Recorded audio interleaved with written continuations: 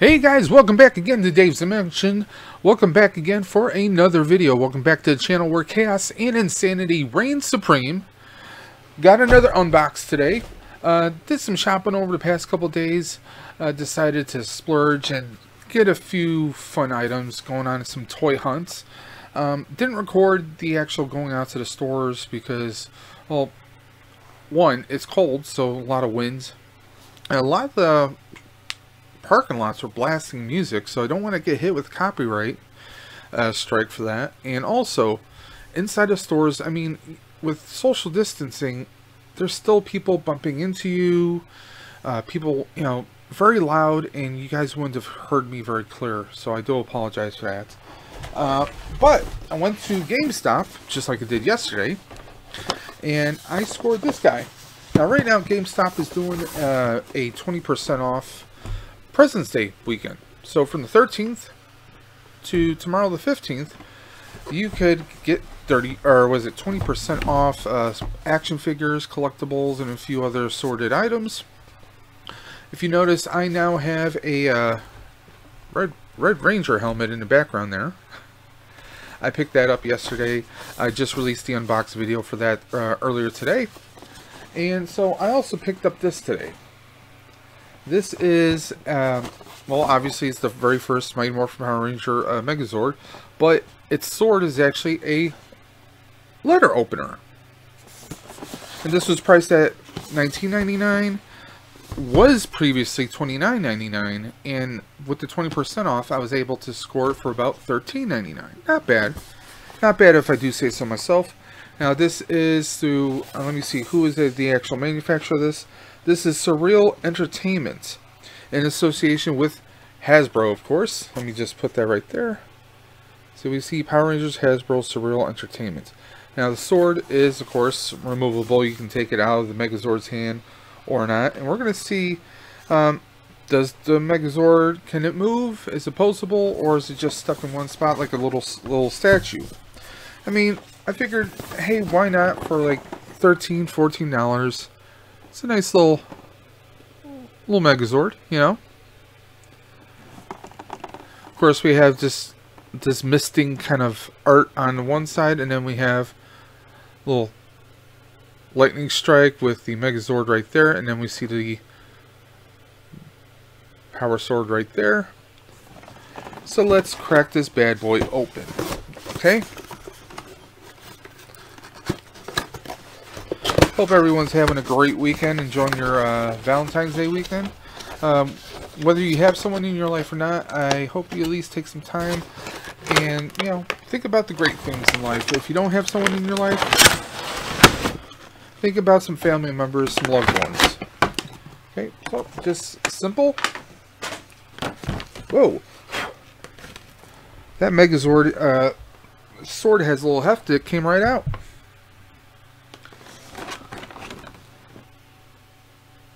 Now, it's, it's not sharp at all, but obviously when you're trying to cut open a envelope, it'll do the job. So we have a got some nice heft to it, guys. Nice long uh, handle, scabbard, I should say. Now, some of the yellow paint on here, um, closer you look, it, it's not too solid. Um, that's an easy fix. Um, either with a maybe a yellow sharpie, or I can tape off the aluminum part and some nice solid uh, spray, like a solid yellow. I do have a, some yellow around here somewhere. I just gotta find it. Uh, there's that, or just maybe even hand paint it and just hit it with a nice clear coat to cover up the chrome afterwards. Uh, that would be a quick and easy fix. We're going to set this down on the desk and then okay so the Megazord he, he is just one solid molded piece. Paint applications on here actually look pretty good. I mean it's not perfect. Almost looks like a few spots is they almost look like decals that are applied. I mean if you look at the waist right there you can see the uh, blue triangles right at the waist are not perfectly centered, but it's a molded piece of plastic. I mean, what do you expect? Uh, it's solid. We have the Power Rangers branding via a decal sticker. Copyright 2019, obviously. So it's been it's been out for quite a while. I mean, it's not bad. Is not bad at all. It with some of the paints on here, they give you the, uh, you know, the illusion that he's moving forward to fight the bad guys. Now, both hands can hold the sword. Actually, if you notice there, in there, both hands have the ability to hold the sword. Uh, one thing I'm not too crazy about is the left hand. If you notice, there's like some uh, some gray spot, either where paint might have chipped or broken off. Um, but that's, I mean, I could take a Sharpie and cover that right up. Those are things you can do to kind of just touch it up. I do also have flat black paint that I can just kind of see we have it like he's holding the sword right there or we can have it where he's getting ready to do an attack. So you have a couple different ways you can go about it.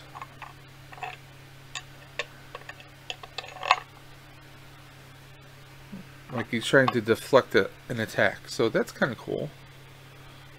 So yeah, I got this guy for about $14. Um, like I said, some of the paint on here is a little spotty, but I mean for $14, I'm not going to complain. Would you? Here's the back. Back looks pretty good. Now, it would have been cool if they could give you another accessory like the Mastodon shield, so that while he's holding one weapon, he's got the shield for the other. Uh, that would have been a pretty cool effect here. Um, but all in all, it's uh, it's not bad. I mean, as far as the sticker, I mean, again, the front label you get Saban's, and it's not perfectly centered.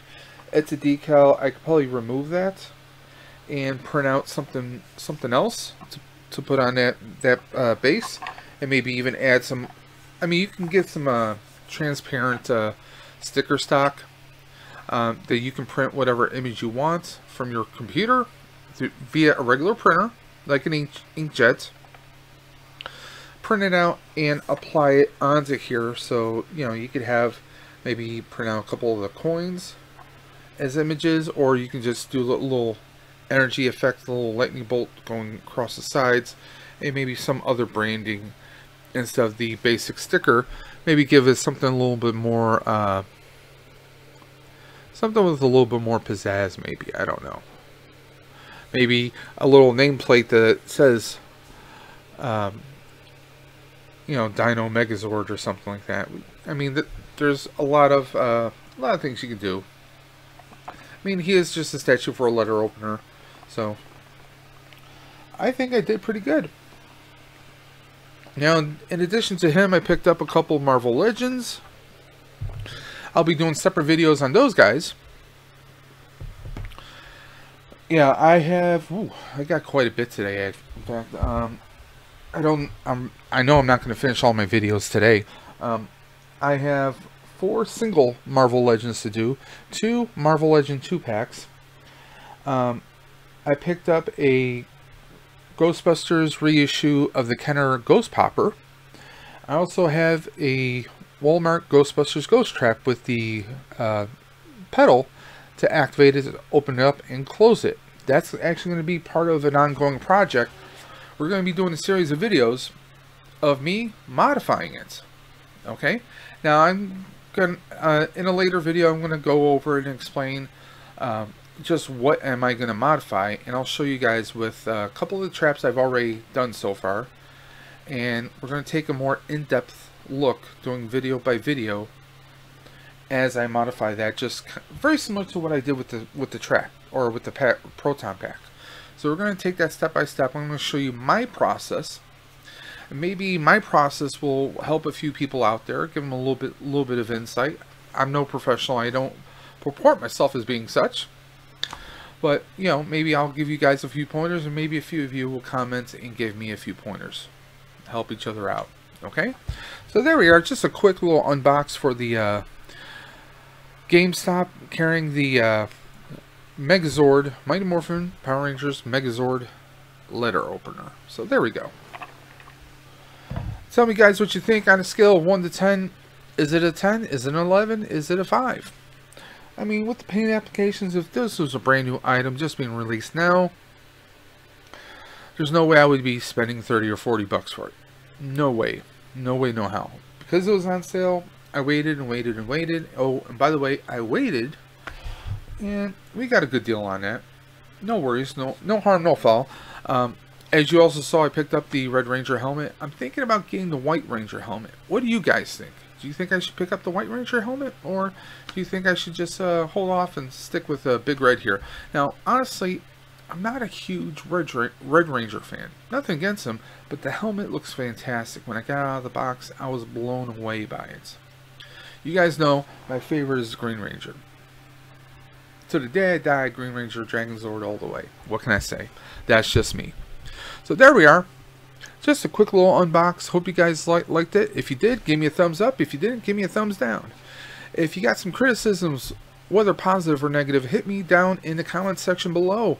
And of course, if you ever feel the need, you want to reach out to me directly, hit me up at davesdimension78 at gmail.com. Now, I am going to do, I did receive a request uh, from, from one of our viewers uh, asking me, because in a couple videos, you've seen, like when I changed out my monitors, you saw some of the wall, the Ghostbuster themed wallpapers I use. Um, one of our viewers requested some links on where I can get those. Now I'm going to actually do a little bit of research probably this week or next. I'm going to try and get as many links to some great sites where you can get these high depth uh, wallpapers. And of course you can do a Google search yourself, you know, Ghostbusters or Firehouse, Ecto 1, HD wallpapers for desktop. I mean, they're pretty simple, but I'm going to see if I can come up with a list. Because uh, anytime any of you have a request, I'm going to respond. I'm going to do whatever I can. It's just things have been kind of crazy lately. So until next time, this is Dave from Dave's Dimension saying keep on busting, and I'll catch you guys on the flip side.